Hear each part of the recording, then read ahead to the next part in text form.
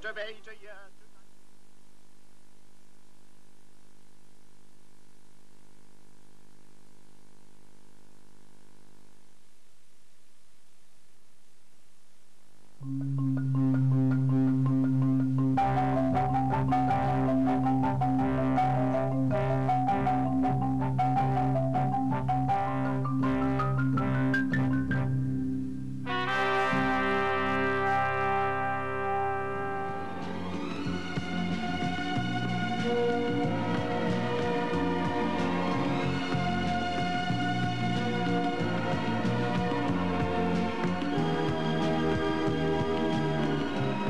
Κυρίες και κύριοι, καλησπέρα σας. Χρόνια πολλά και ευτυχισμένα. Με αισιοδοξία για το μέλλον, σε ατμόσφαιρα αγάπης και χαράς και με ευχές για ειρήνη και προκοπή, γιορτάστηκαν σήμερα τα Χριστούγεννα σε ολόκληρη τη χώρα. Η έξοδος των εκδρομέων στην επαρχία εφέτος ήταν περιορισμένη λόγω της κακοκαιρίας που επικράτησε τις τελευταίες ημέρες στην Αττική και στην υπόλοιπη Ελλάδα. Πολλοί κάτοικοι των μεγάλων αστικών κέντρων εκμεταλλεύτηκαν ωστόσο τη σημερινή καλοκαιρία στις περισσότερες περιοχές και έφυγαν για να γιορτάσουν στην Ήπεθρο. Δυστυχώς όμως, παρόλα τα μέτρα που πήραν τα αρμόδια υπουργεία, τα Χριστούγεννα δεν ήταν ανέμακτα. Από τη Δευτέρα μέχρι σήμερα το πρωί έγιναν 150 περίπου τροχαία δυστυχήματα σε ολόκληρη την Ελλάδα, με αποτέλεσμα να χάσουν τη ζωή τους 13 άτομα και να τραυματιστούν 176. Κανένα από τα θανατηφόρα δυστυχήματα δεν έγινε στους εθνικούς δρόμους Αθήνας-Κορίνθου και Αθήνας-Λαμίας. Η επιστροφή των εκδρομέων θα αρχίσει αύριο το μεσημέρι και αναμένεται να κορυφωθεί αργά το απόγευμα, οπότε προβλέπεται κυκλοφοριακή συμφόρηση στους εθνικούς δρόμους Αθήνας-Κορίνθου και Αθήνας-Λαμίας. Το Υπουργείο Εσωτερικών και Δημόσιας Τάξης καθώς και οι άλλοι αρμόδιοι φορείς έχουν λάβει όλα τα απαραίτητα μέτρα για να διευκολύνουν τους οδηγούς και την ομαλή διακίνηση των οχημάτων. Ο πρόεδρος της Δημοκρατίας Χρήστος Αρτζετάκης, συνοδευόμενος από τη σύζυγό του, επισκέφθηκε το πρωί νοσοκομεία της Αθήνας και του Πειραιά και ευχήθηκε στους ασθενείς χρόνια πολλά και γρήγορη ανάρρωση. Στο Γενικό Κρατικό Νοσοκομείο του Πειραιά, τον κύριο Σαρτζετάκη υποδέχθηκε ο Υπουργός Υγείας και Πρόνοιας Γιώργος Γεννηματάς. Στη συνέχεια, ο πρόεδρος της Δημοκρατίας, συνοδευόμενος από τον Υπουργό Υγείας, επισκέφθηκε το Σισμανόκλειο Νοσοκομείο, όπου συνομίλησε με ασθενείς και το προσωπικό της Βάρδιας. Ο Υπουργός Υγεία και Πρόνοια, Γιώργος Γεννηματάς, απαντώντας σε ερωτήσεις ασθενών, δήλωσε ότι με την εφαρμογή του Εθνικού Συστήματος Υγείας θα βελτιωθούν οι συνθήκες περίθαλψης. Τα Χριστούγεννα, η μεγαλύτερη γιορτή της χριστιανοσύνης, γιορτάστηκαν με την καθιερωμένη λαμπρότητα όχι μόνο στην Ευρώπη, αλλά και σε άλλες περιοχές του κόσμου με το ιδιαίτερο διαφορετικό χρώμα του κάθε τόπου. Στην κατεχόμενη Βιθλέμ, όπως κάθε χρόνο, με ευλάβεια και κατάνοιξη, χιλιάδες πιστοί παρακολούθησαν σήμερα τη λειτουργία των Χριστουγέννων που έγινε στο ναό της Αγίας Εκατερίνης, ο οποίος είναι κτισμένος στο σημείο της γέννησης του Χριστού. Σε όλη την περιοχή ήταν αισθητή η παρουσία Ισραηλινών στρατιωτών, ενώ ο χριστιανός δήμαρχος της πόλης δέχτηκε τον Ισραηλινό πρωθυπουργό Σίμον Πέρες και τον Υπουργό Άμυνας Γιτζάκ Σαμίρ, οι οποίοι επίσης παρακολούθησαν τη Θεία Τελετή.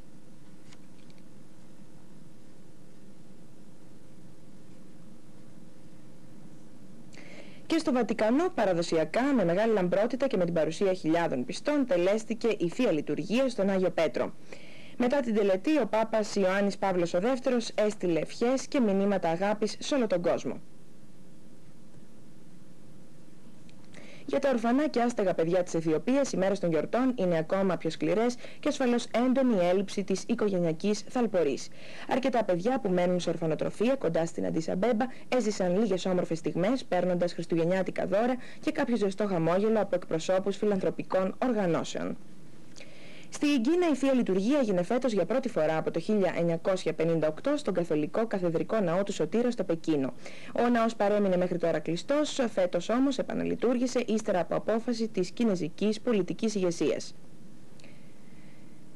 Στην Πράγα, παρά τις δυσμενείς καιρικές συνθήκες, μικροί και μεγάλοι πλημμύρισαν φέτος τους κεντρικούς δρόμους της πόλης και έκαναν τα χριστουγεννιάτικα ψώνια τους μέσα σε ανάλογη εορταστική ατμόσφαιρα.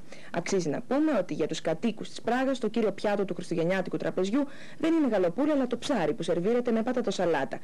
Και στους δέκτες σας κάτι πρωτότυπο, χριστουγεννιάτικο είναι το θέμα μας και πάλι ένα χωριό διαφορετικό από τα άλλα. Δύο κατασκευαστές πίτσας και σάντουιτς έφτιαξαν το πιο γλυκό χωριό με κύριο υλικό το μελόψωμο. Κατασκεύασαν 70 κτίρια, σπίτια, σχολεία, δημαρχείο, εκκλησίες, γέφυρες, δέντρα και ό,τι άλλο έχει ένα χωριό, παρουσιάζοντας μια εικόνα καταπληκτική.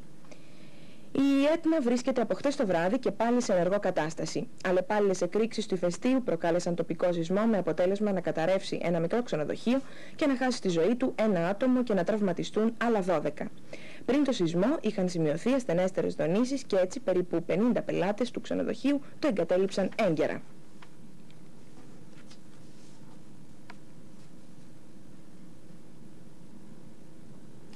Θλιβερά ήταν τα Χριστούγεννα στη Νότια Αφρική, όπου άλλα 15 άτομα σκοτώθηκαν στη διάρκεια συγκρούσεων μεταξύ μαύρων διαδηλωτών και της ρατσιστικής αστυνομίας. Με τους σημερινούς μαύρους νεκρούς ανέρχονται περίπου στα χίλια τα θύματα της έναπλης ρατσιστικής βίας μέσα στο 1985.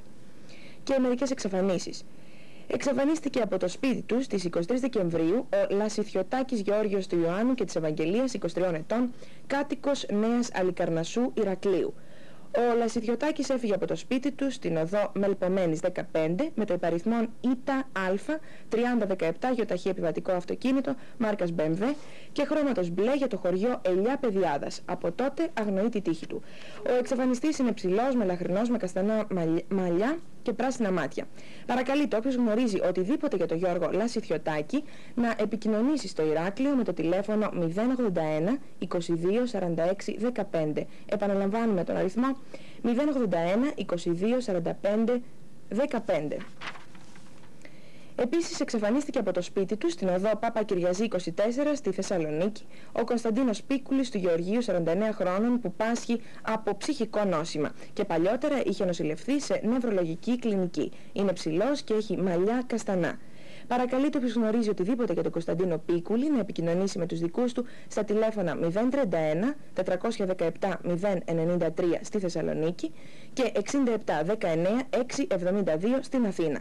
Πάλι να επαναλάβουμε τους αριθμούς 031 417 093 στη Θεσσαλονίκη και 67 19 672 στην Αθήνα.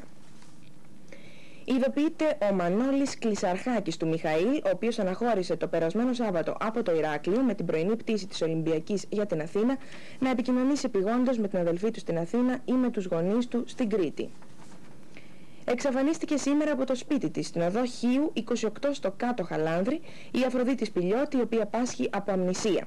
Η εξαφανιστήσα έχει ανάστημα 1,65 καστανά μάτια και όταν εξαφανίστηκε φορούσε μαύρη ρόμπα με εμπριμέ κόκκινα λουλούδια. Παρακαλείται οποιοδήποτε γνωρίζει κάτι για αυτήν να επικοινωνήσει στο τηλέφωνο 67 19 391 ή με το αστυνομικό τμήμα Χολαργού.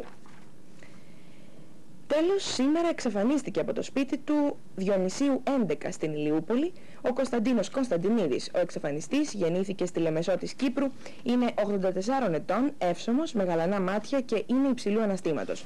Κατά την εξαφάνισή του, ο Κωνσταντινίδης Κωνσταντίνος φορούσε γκρι ανοιχτό παντελόνι, γκρι σιέλ πουλόβερ και καφέ παπούτσια. Ο εξαφανιστής πάσχει από γεροντική ανία.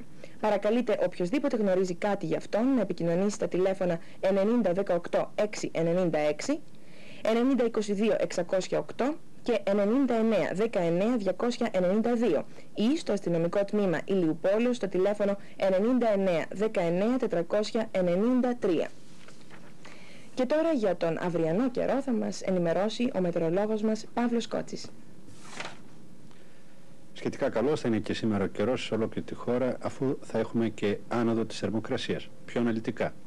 Προβλέπεται ότι στη Δυτική Ελλάδα θα έχουμε νεφώσεις και θα σημειωθούν εκεί λίγες τοπικές βροχές, κυρίως μετά το μεσημέρι. Στην υπόλοιπη χώρα, στην αρχή ο καιρός θα είναι σχεδόν έθριο, αλλά από το μεσημέρι και μετά θα αναπτυχθούν τοπικές νεφώσεις. Το πρωί κατά τόπου η ορατότητα θα είναι περιορισμένη. Οι άνεμοι στα δυτικά θα πνέουν νοτιάδες ασθενείς που θα γίνουν μέτροι, ενώ στα ανατολικά θα είναι στην αρχή μεταβλητοί ασθενείς που και εδώ σιγά σιγά θα γίνουν νότιοι μέτροι. Η θερμοκρασία θα σημειώσει άνοδο και θα κοιμανθεί στα βόρεια παιδινά από μείον 1 έως συν 11, ενώ στα νότια από 6 μέχρι 16. Στην περιοχή Αττικής προβλέπονται λίγες παροδικές νεφώσεις, οι άνεμοι θα είναι νοτιάδες ασθενείς μέχρι μέτρη, ενώ η θερμοκρασία θα κοιμανθεί από 7 μέχρι 16 βαθμούς. Στο νομό Θεσσαλονίκη βλέπετε στην αρχή λίγες συννεφιές που θα πυκνώσουν προς το βράδυ. Οι άνεμοι θα πνίουν ασθενείς, ενώ η θερμοκρασία θα κυμανθεί από 1 μέχρι 10 βαθμούς Κελσίου. Εδώ τις πρωινές ώρες θα έχουμε ομίχλη. Για την Παρασκευή τώρα, στη Δυτική Ελλάδα ο καιρός θα είναι καλός με τοπικές νεφώσεις, ενώ στην υπόλοιπη χώρα υπάρχει πιθανότητα για λίγες ασθενείς βροχές. Οι άνεμοι θα πνίουν νοτιοδυτική μέχρι μέτρη, ενώ η θερμοκρασία δεν θα σημειώσει αξιόλογη μεταβολή Κυρίες και κύριοι, τελειώσαμε. Σας αφήνουμε να παρακολουθήσετε τη συνέχεια της ταινίας. Καλή σας νύχτα.